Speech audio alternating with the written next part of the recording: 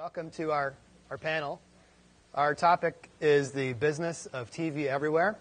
Uh, I'm Jonathan Weitz, partner of the media practice at IBB Consulting. We're a strategy and execution consulting company working with cable networks, studios, uh, MVPDs, and technology companies. I think right now is a really timely uh, time for us to be talking about this topic. If you look at some of the recent deals, for example, the Disney Comcast deal, uh, NBC doing live streaming and talking about a large uh, majority of that being authenticated. I think there are some real positive signs out there right now for TV everywhere. However, uh, I think there's a long way to go before the vision is completely realized. So um, I'm really excited to have such a great, uh, distinguished panel of experts with us today. Uh, I'll have them introduce themselves, and maybe we'll just start with a short intro from each of our panelists. Then we'll jump into questions, and we'll leave time for all of your questions. Go ahead. Okay. So I'm Keith Wymbs. I'm the VP of Marketing of Elemental Technologies, and Elemental is a encoding and transcoding vendor. So we power many of the TV everywhere and over-the-top deployments that you may have heard about. So HBO Go, uh, Comcast Xfinity uh, ESPN, uh, the Score Center applications, any on-demand content that's produced by them. And we're doing a decent amount around the Olympics this summer as well for live streaming. Hi, I'm Bruce Eisen, VP Online Content Development and Strategy for Dish Network. Dish is the third largest uh, pay TV operator in the country. I'm responsible for uh, Dish Online, our online uh, video entertainment portal, and content acquisition for uh, all the on-demand content cross-platform, so set-top box, Dish Online, iPad app, and so forth. Hi, I'm Seth Metch from A&E Networks, where I am the Vice President of Digital Media Counsel in the Legal and Business Affairs Group. I've also worked in business development roles, and I basically focus on any type of deal that we do that involves anything digital, so involving digital distribution of video, um, and our websites, apps, games, which are probably the most fun thing and sort of hit all across and I've been on many emails with Bruce, and he's never met me before. So we'll see what happens. Hopefully, don't we don't kill each other. Hi, I'm. Um, too loud. Um, I'm Michael Fisher. I'm with uh, Sling Slingbox. Most of you probably know Slingbox from the uh, retail consumer electronics device we have. We also have a focus on providing scalable solutions to um, MVPDs to, to sort of port over that Sling experience, that TV everywhere experience, and have it delivered through um, tier one, tier two operators uh, in North America. Great, thank you. I think we'll get a really interesting combination of perspectives from folks on this panel. I want to start with general questions, and then we'll zoom into a few specific things, really focused around the business of TV everywhere, but we'll also get a bit into some of the technology aspects. I think great place to start really is what does TV everywhere mean to you? Because I think there's you know different, some different interpretations um, from folks on this panel. And what do you think it will take for it to really get big? I'm first. Go ahead. Yeah. Uh, so I, I, mean, I think the traditional um, view of TV every, everywhere is really the ability to use the authentication that the particular distributor has. Um, and allow the content to come directly from the content owner um, and use a single login, obviously, to access that content. In order, in order for it to be really big, I mean, I think one of the things that we have to start thinking about is a, having a more global view of this. Um, we tend in, in these sessions, uh, Streaming Media East or Streaming Media West, to have a very uh, US centric approach, but I think part of the discussion today is kind of what's happening on a global basis. Um, and I think you're going to start to see scenarios where uh, traditional TV everywhere applications that you think of in the U.S. start to migrate um, not only across, you know, geographies within the U.S. itself and across the um, distribution rights of particular um, content distributors, but also crossing international boundaries. I think some of the aspirations that you see from some of the larger players in particular are not just about owning their own markets within region or their, their own uh, kind of national markets, but also on a global scale. And I think once that starts to happen, there's going to be uh, quite a battle uh, on a global basis for TV everywhere. Well, for Dish, our goal is to be able to make the content available to our subscribers wherever they want to see it, on whatever de- device they want to see it, whenever they want to see it. Um, that's the goal. Not 100% there yet, but we're making great progress. Our friends at A&E are very helpful in that. um, and you know, there, there's work to be done. There's a lot of issues to make that happen. Legal business, not not on the tech side. Um, you know, we'll, we'll talk about more of those, but it's uh, rights issues are complex. A lot of the deals that are in place, either be it between Dish and a programmer or the programmer and their content supplier, are older deals that never even contemplated this. So, you know, how do you make that happen? Uh, there's business issues as to how does the payment work? What is the payment? How does the ad revenue flow? How do, how do you make that happen? So we're all moving in the right direction. There's certainly been a lot of progress in the last year and the year before that, uh, and I anticipate there'll be great progress the rest of this year and next year. It's hard being, because I'm lucky I'm not fourth. It's hard being third because as I wrote down points, you guys kept saying them. Um, I'd say the first thing that's important to me is that what TV Everywhere means is the relationship as a cable network that I am going to have with a cable or satellite provider, an MSO, to distribute content everywhere to our paying subscribers. I think that's an important thing. It is not a service like Aereo or Nimble TV, which is creating their own business model, charging people and doing something just without you know acquiring rights or doing any type you know any type of authority. I think that's important to me. Thinking from a legal perspective, because a lot of things I think of about are that sort of that we have to really figure out are rights issues, royalty issues, and things like that. Because for instance, certain programs that we have on our networks, we have programs that we own and we have the rights to distribute them in all media any which way you can. We have programs we license. We didn't necessarily license the rights to distribute them to mobile devices or over the internet, and we have to figure those out. Same thing, stuff that's produced under guild and union contracts. There's royalty issues. Um, there's royalty issues for the residuals for the talent when you distribute over different media, and then music. Music is licensed, and and the, the revenue works differently over different media. And these are sort of, it's an interesting thing because the TV business is a really old business from a, from media perspective because the rights have been carved up in lots of little different things. There's domestic versus international rights. And when we look at TV everywhere, we have to find a way to take all those separate buckets and put everything back together. And it's more of a challenge for older programming than for newer programming. I'd say the other big impediment is measurement um, measurement of viewing and measurement of viewing and how it's used for ad sales.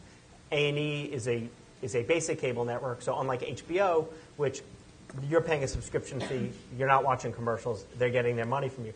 We need to have people sort of our revenue model involves people watching our channels linearly, which you know I know many people don't do as much anymore, and watching those commercials because we're getting revenue from subscription fees and from advertisers. And the inherent you know thing that we have to figure out is how to make our business model evolve because that's the, the money we get from those two sources, the money we use to invest in content.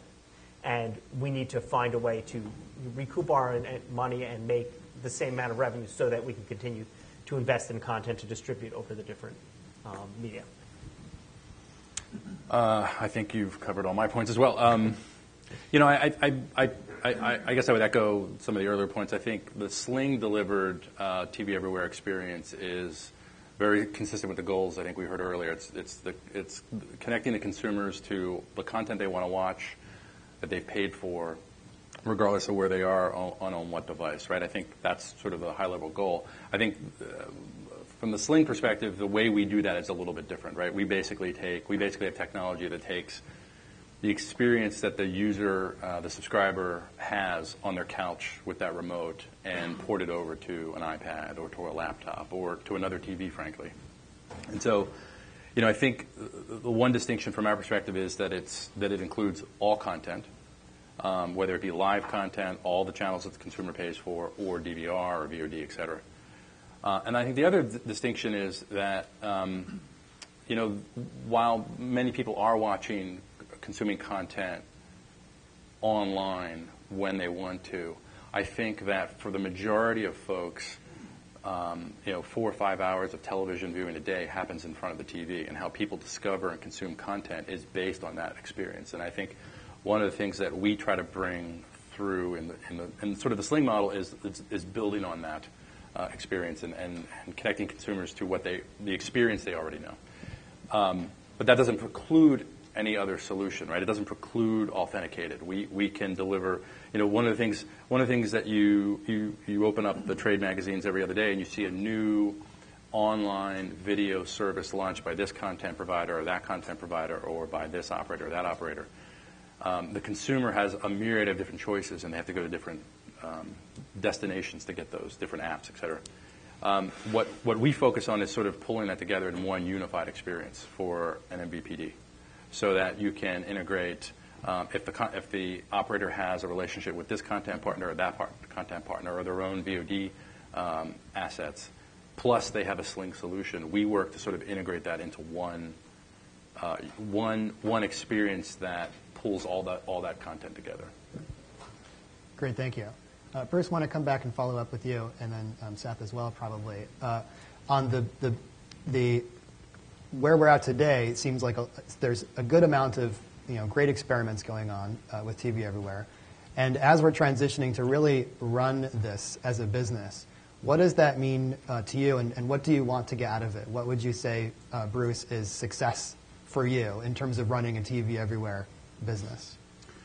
Well, I wouldn't say that we're that we are or that we are looking to run a TV everywhere business. Right? I mean, that's a component of what of our business, but it's not a TV everywhere business. Our business is to provide TV programming to our subs, um, and again, it's however, wherever, whenever. So for us, it's we've made great progress, and we're we're happy with where we are. Um, frankly, I would say there's maybe one other pay TV operator who's doing the type of stuff that we're doing, uh, and that's it. So we're we're far ahead of everyone else. Um, but to say you know additional uh, success would it, it's more content, right? It, it's it's working with our content providers, working with others in the ecosystem to really have more content, uh, more immediately available, again across all the devices.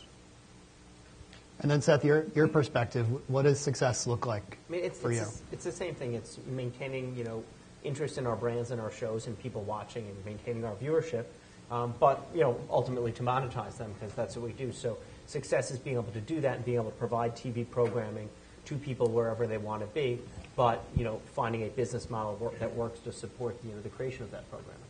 Mm-hmm.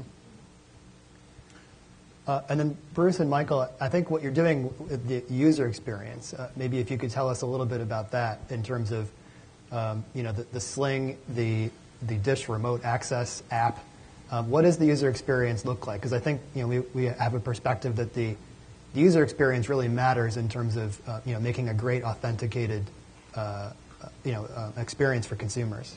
Yeah. So our iPad app is a sister companion to our website, Dish Online, um, and I'll talk about Dish Online first because that's the parent, right? So from there, there is uh, content you can view in front of the wall. You don't need to be a Dish sub. You can come and there's a ton of content you can enjoy, full-length movies and TV shows.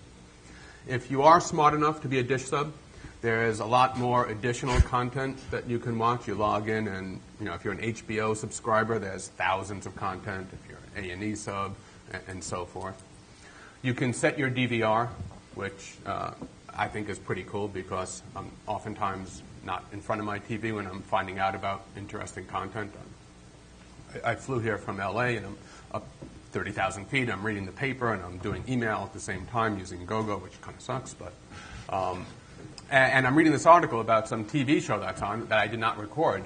Well, I literally went to Dish Online and set my DVR from 30,000 feet, so when I get home tomorrow, I can watch the show. And I think that's pretty cool. Um, and you can rent movies for delivery into your set-top box. So that's what you can do on Dish Online. And, and if you're Sling enabled, you can watch uh, live TV and recorded DVR TV. So for the iPad app, it's to mimic that to the extent possible, um, mostly on a rights issue in terms of possible. So a lot of the content that's in front of the wall uh, is the broadcast nets, and, and we get that from Hulu. We do not have the right to put that on the iPad app. So that's not on there. But we do have the right for the DVR control. We do have the right for HBO Go, as an example.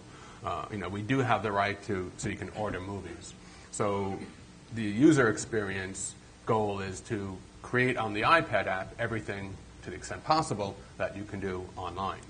Um, in terms of the specific details of that as a product and the decisions that were made as to what's where and so forth, I'm going to let Michael talk about that because uh, Sling is part of EchoStar, and they're the company that uh, actually built that for us. Yeah, I, actually don't have too much to add to that. I think I think the Jonathan kind of touched on this earlier, which is the MVPD has access to multiple content sources, and in case of Dish, the customer has access to their live TV.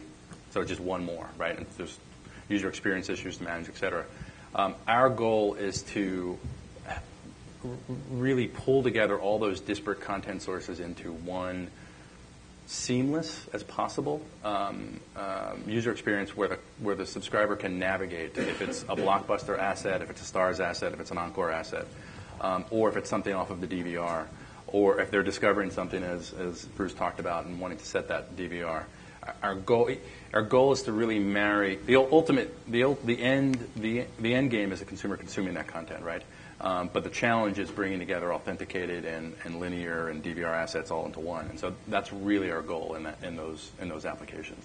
Uh, you know, I think one of the interesting questions for us to ask is this kind of trade-off or the push and pull of, you know, the experience of aggregation and the experience of the actual content itself. I've heard HBO in another session say that, you know, in their TV everywhere approach, and I think HBO Go is a good example of that. It's the most well-known example. It's very well distributed with the with the content uh, folks with the MVPDs. Um, they basically said that I think four out of every five of their views uh, is not done on the traditional TV any longer. So it's done through an app. So it might be on a TV set, it might be through a, a Netflix uh, or HBO Go smart uh, smart TV, or it may be on an iPad, and that's kind of showing that the the experience and increasing the level of the experience is a little bit more about the app than about the aggregation of that content, uh, at least in that case. And it may be a corner case because HBO Go is, is quite unique in terms of you know, its aggressiveness in this market and its innovation in the market. But, but it's kind of an interesting question. Just another thing to point out about HBO and the difference between HBO Go and the broadcast and basic cable networks is HBO doesn't have advertising as part of its revenue model. Yeah. So if you watch, HBO makes the same amount of money from you whether you watch on your iPad or watch on TV. There's no impact on that. There's no impact on their revenue, which means their investment in programming can be the same. There's a good argument that you know if they enhance their subscriptions and have more subscriptions because of their apps, they'll have more revenue to invest in programming. Yeah. You know, the, the, key is looking at, as this is the one of the few um, panels here, it's the business of something, is to really look for each network and each type of programmer what their business model is and see how the different viewing things actually fit with their business model. So for ad ad driven networks, what, what does that mean for you in terms of well, your? you know, you have sort of the age old Nielsen problem. Um, not saying Nielsen's a problem; you can come to your own conclusions. But you know, people, agencies buy commercials on television based on Nielsen ratings. So our networks are Nielsen rated, and that's what they what they look at. Now, Nielsen does not capture it everywhere. Nielsen, they, they sort of a little old fashioned with, um, you know, their panels and people reporting and, you know, their people meter, you know, all these things. But it's a sample, and Nielsen measures a sample. Nobody, I think, really knows if that sample over measures or under measures, but people are comfortable that the business works, and I don't think anyone really wants to know. Um, but the, when you look at something like the iPad, and the iPad's an interesting thing. So if you are a Nielsen family and you watch stuff in websites on your computer, you can install the Nielsen software on your computer. Now, don't know if you want to do that because whereas the on television they look at what you're watching on television, I think everybody does something on the web that they don't necessarily want to have tied to them and announced for survey results. Um, so you know that's interesting on the web. So is the sample as valid on the web? The, the iPad is really the key here. Is, so no third party has software that runs in the background on the iPad. Apple doesn't allow that in its ecosystem. So if Nielsen was going to effectively measure, let's say, iPad viewing, every single iPad app would have to have Nielsen embedded into it and turned on. And every single, you know, and the same thing if you're watching like HTML5 video in the Safari browser or another browser, that browser would have to have that. We're, we're just not there yet. What about ComScore? Are they able to measure on the iPad? Um, ComScore, I think, can, just like everything else, it's got to be in the app. So you know, I could tag my app with that. But the problem is, there's no, unlike Nielsen, there's no universally accepted measurement of the advertising industry, and advertisers buy Nielsen. Right, on TV, right? But like Hulu, as an I example, but- is selling based on ComScore. Yes, but but TV advertising dollars and Hulu advertising dollars are two different ballparks. No, no, uh, uh, Yeah. agreed. I guess my question is, couldn't, and I'm not saying you should or shouldn't, but, you know, couldn't a, uh, a basic cable net, Yeah. Um, you know, sell the ads for TV the way you're currently doing it, Mm-hmm. and then sell the stuff that's going to be online more the way Hulu does, you know, based on a ComScore. Yes, but those are going to be the, the bigger revenue is on TV. We don't necessarily want to pull people away from TV. To, to online. Yes, you can find ways to do it, but the big ad buys in TVs are done based on Nielsen ratings. I want to follow up on this discussion around the, some of the devices and apps that we're talking about. It, it seems that consumers really want to be able to watch authenticated content on whichever device they choose, iPads, Xboxes, etc. Um, how do you make some of the choices between some of those devices, apps, OS platforms? It seems that there are upfront capital questions, and then there's also, it seems, a lot of ongoing operational overhead and cost questions about getting out and, and distributing to all these different platforms.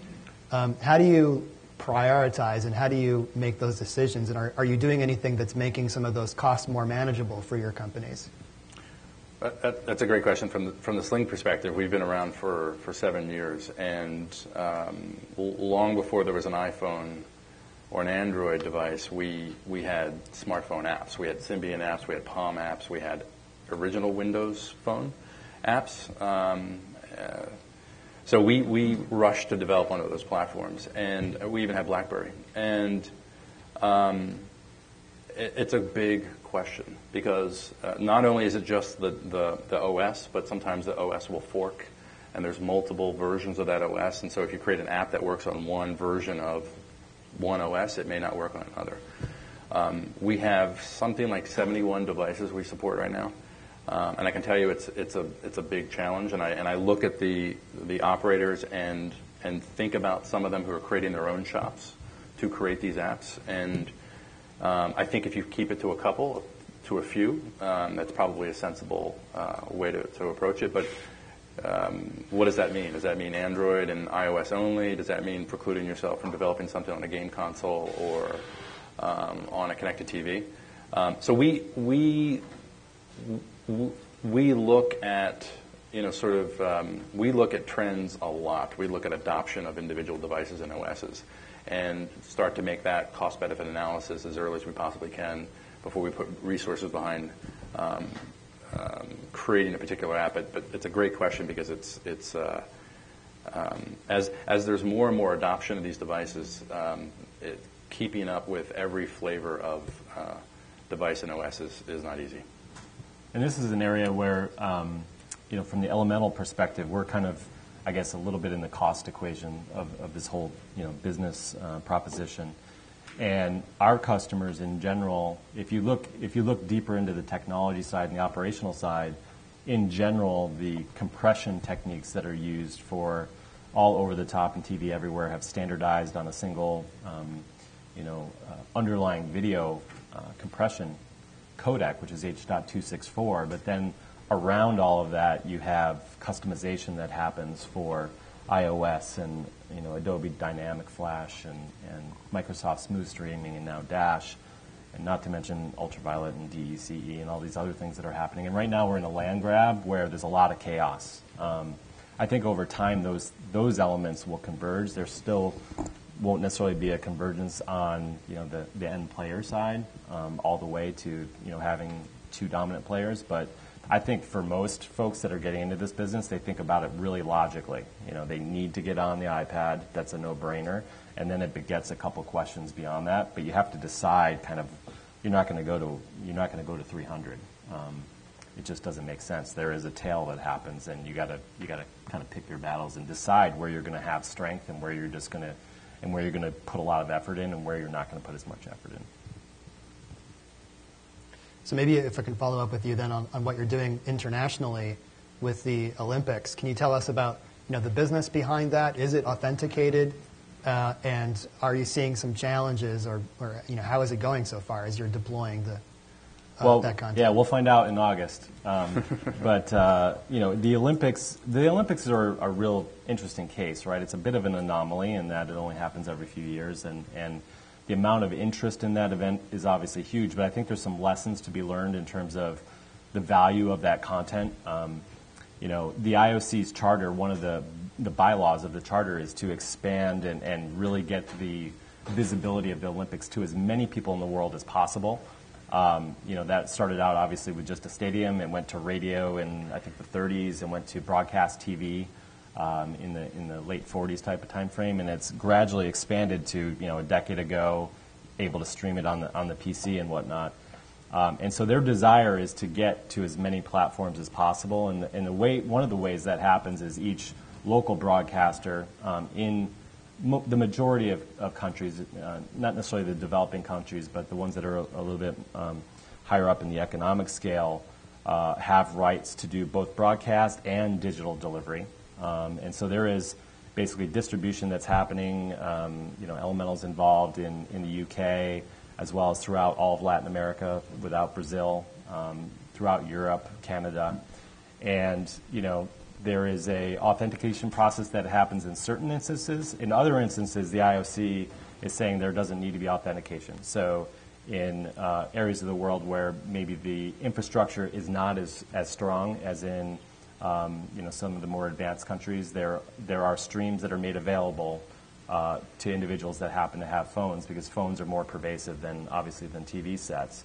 And so there's no authentication at all. The, the streams may not be live, but almost any, anyone in the world with a smartphone can get access to the Olympics, whereas you, know, you think just even six years ago, four to six years ago, that was not the case. So it's pretty, it's pretty interesting.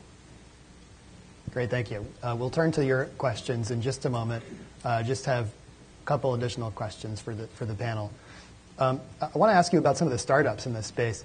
If, if you look at companies like Aereo and Nimble TV, what do the things that we're talking about around the business of TV everywhere, some of the technology implications, what does this mean for some of the companies like uh, Nimble and Aereo? Are they uh, com- direct competitors? Are they potential um, people that you might cooperate with? Or are they just um, you know, small and, and you don't yet need to worry about players like that? I, I mean, Nimble TV doesn't really, I mean, Aereo doesn't affect me as directly because that's only the broadcast networks. And for those of you that don't, don't know, Aereo has little farms with lots of little antennas, and you rent your own little antenna, and they broadcast your um, programming to you wherever you want. I, you know, they're being sued by a lot of parties. That that will be an interesting thing.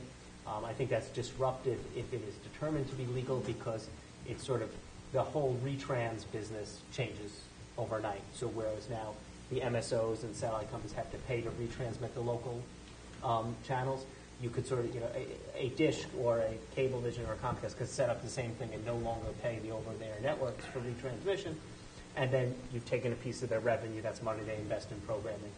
You don't have as much programming or as you know high-quality programming. Um, Nimble TV is an interesting one. Nimble TV purports that it it's a reseller. It's buying a subscription um, from from the, the cable or satellite provider who they, and then what they're doing is basically they have a server farm somewhere. They're doing it with a dummy address, and then they'll transmit it to you, and they're going to add on 10 or 20 bucks. And you know that doesn't really work either because I am sure your end user license agreement when someone subscribes doesn't allow them to resell at a plus twenty dollar fee. You know, for that to be legal, the you know Nimble TV would have to make deals with the MSOs, and then the MSOs would have to make deals with the providers, because the MSOs don't really have that right to grant, and that's why there's negotiations between the channels and, and the carriers for, you know, for TV everywhere. So basically, you, you can't sort of just take someone else, in some, you can't just sort of take someone else's programming and decide, well, it's okay, this is where people want it. At least in, in my opinion, you have to have to work with the rights holders and work with the people and work within the system and you, we're receptive to new business models, but you can't just take it and say, we're going to do with it what we want. Bruce, can I get your perspective on this? I agree.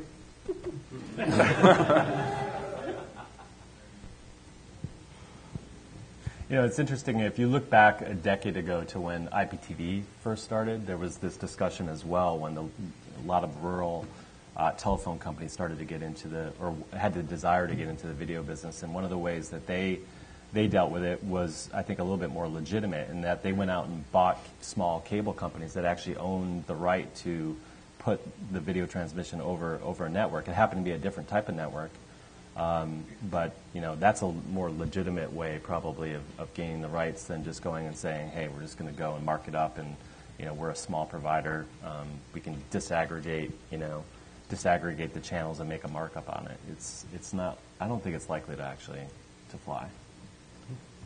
I guess the, the only thing I would add to that is that you know maybe look at it from the positive side, and, and you know, is that um,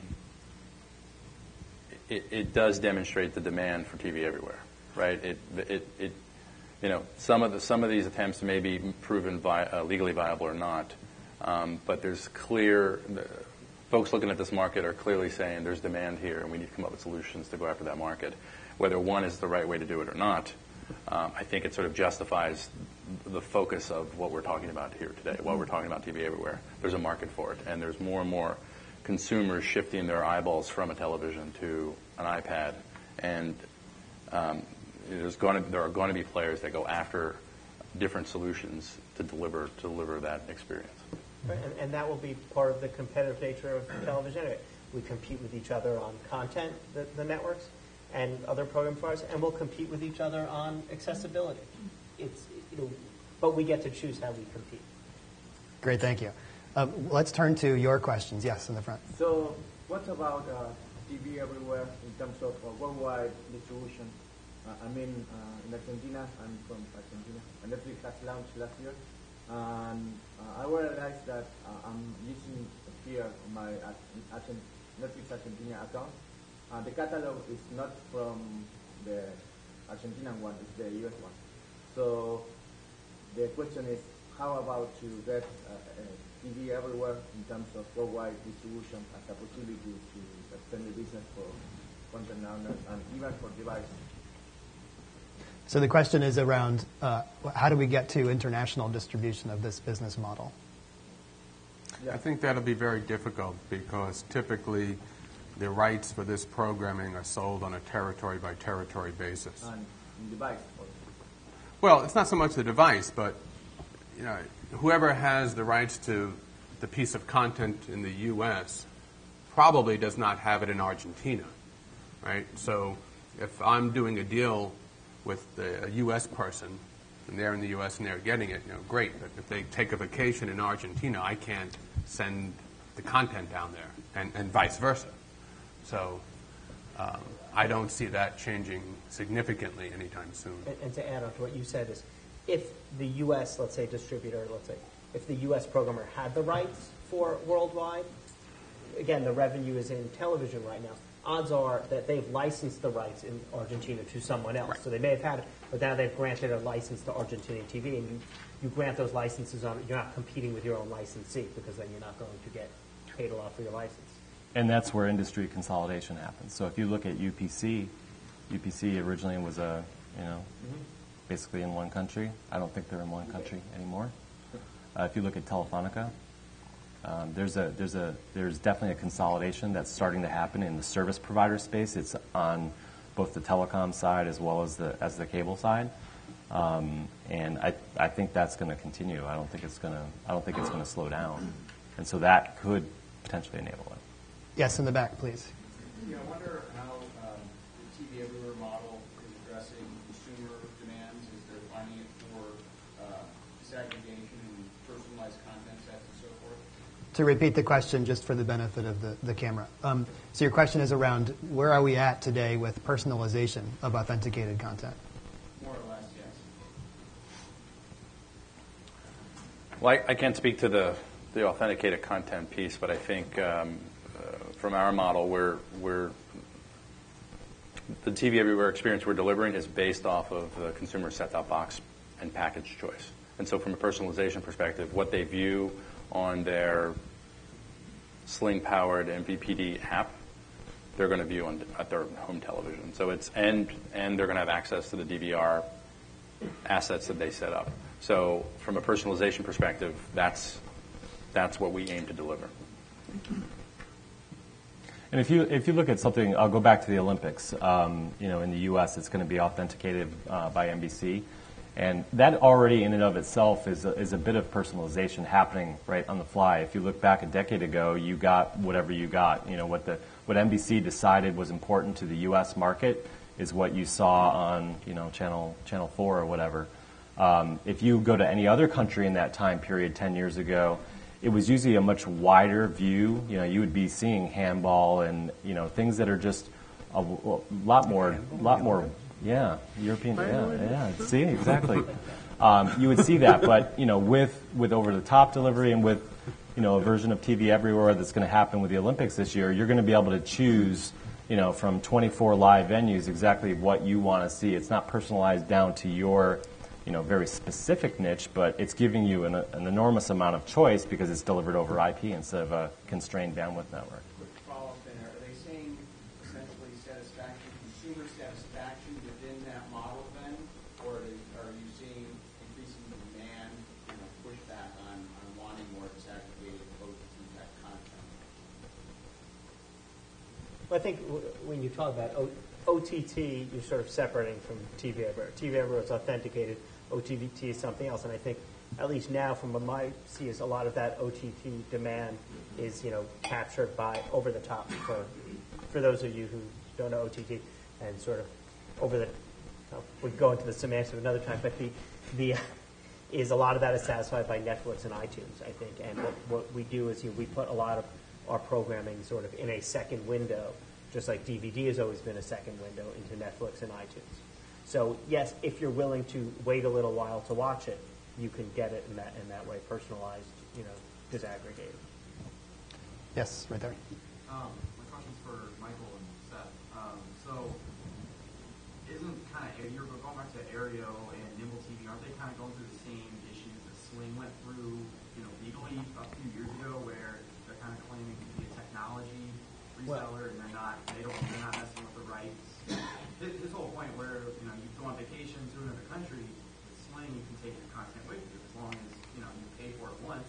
You can take it with you anywhere. I guess I would compare Sling more to to, to an, sort of an, an old school metaphor. Sling is more like a VHS. Um, they're selling you something, and what you are actually watching is your cable box that you are authorized to have. You know, as a consumer, you don't need an additional right to do that. I think it, it's a different piece. A company needs a right to resell that, and you can record your show and take your VHS tape with you. And it's well, I mean, you know, th- there will be arguments, but it, it's, it's I think in a very different place than someone else taking the signal of my channel and reselling it without having a relationship with it. Uh, Seth's legal terms are running, uh, rubbing off on me, but I would say just to correct the record. So Sling's been around for about seven years, and um, we've never been sued. I, I think early early on, there are questions and will some sable rattling. I think depending, uh, to Seth's point earlier, depending on what type of content genre or business model your content is in, you might view Sling as not helpful or helpful, right? Um, but there's been no legal, and I, and I agree with Seth. Our, our perspective is the consumer's paying for this content, um, and we're essentially giving them a long jumper cable from the TV to an iPad, wherever that iPad happens, happens to be. The second thing I would add is the distinction with Sling is that it's not multicast or broadcast. It's point to point, right? So there's so when you sign up for Sling with, with Dish, for example, it's not as if 150 of your best friends are watching something. It's the consumer, it's the subscriber watching the content they paid for. Yes. Um, So a question for Bruce specifically. Um, you know, recently you guys announced that you're going to be letting your AMC contract expire. Um, and I, gi- uh, uh, given how that same content is viewed with increasing ratings on TV, it's also viewed uh, pretty well on Netflix. Is is the fact that you're letting that content expire and it's not as valuable to you a reflection on Dish in particular? Is there an extrapolation on the fact that you can get it electronically and what that means for pay TV? Well, our chairman has uh, publicly said that he believes that because it's available in other places, it's less valuable to us. Got it. And, and is there a, would you like to have that content available, you know, electronically, like digitally? So, I mean, Everything's digital. you know, I'm just curious, why is a good piece of what is considered to be good content um, not that valuable to, you know, the third largest paid TV subscriber? Uh, It's not a matter is it valuable or not. It's you know what what is the specific cost, and I obviously can't go into that conversation here. Um, but again, Charlie has said that because it's available in so many other ways, the specific cost that is being asked of us is not worthwhile to us and our subscribers. So we have time for one or two more questions. Uh, yes, over there. You've had your hand up.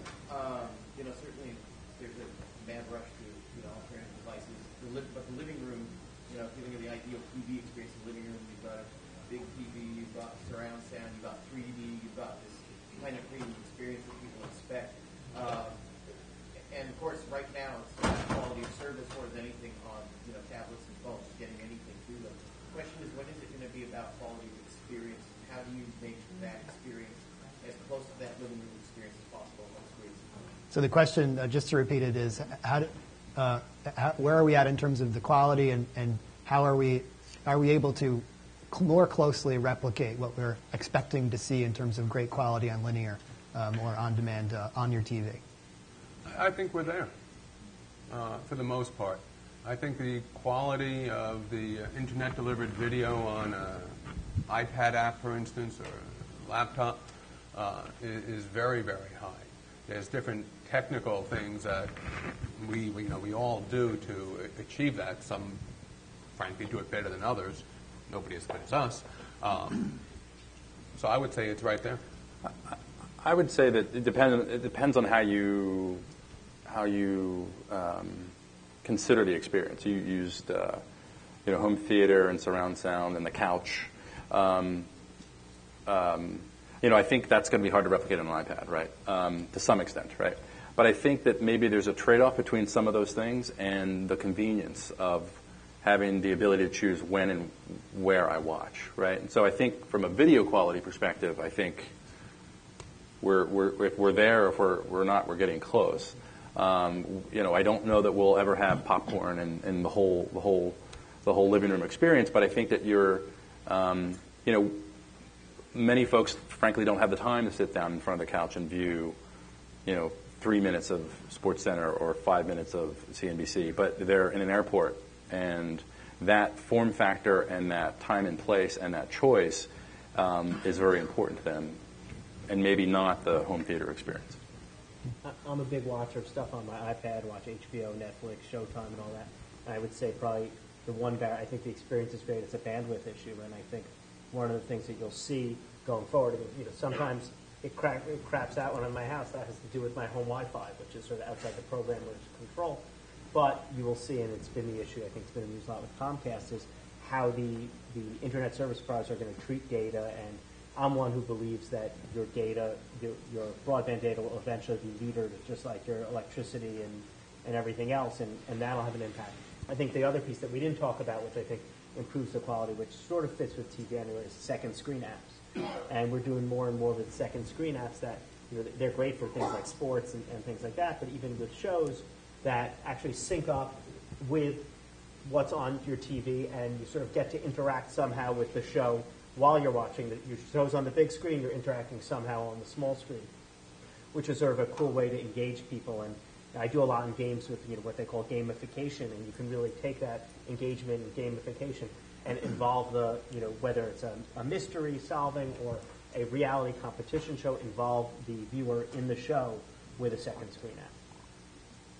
I think we'll have to end our questions there if you don't mind, so everybody can get over to lunch. Uh, but want to give a great big um, hand to our panelists. It's a really great discussion. Thank you.